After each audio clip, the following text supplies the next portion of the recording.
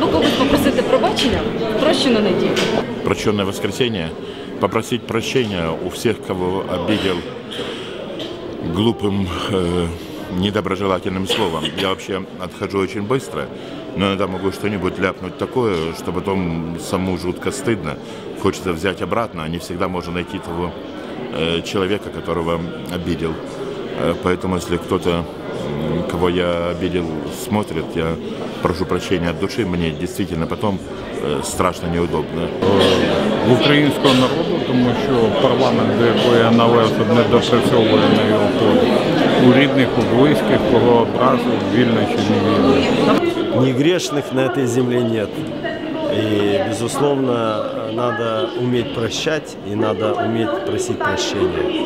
И это богоугодное дело, и я думаю, это кас- касается каждого православного, каждого нормального человека. фактично прощ- проща- прощаємо все. Е, от. Прощаємо своїм ворогам, проща, е, просимо прощення собі е, от, за те скоєне.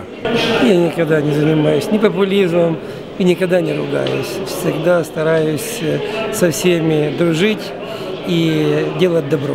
Хотіли би попросити вибачення у когось в прощену неділю. Ну, наверное, но это уже больше традиция, чем реально.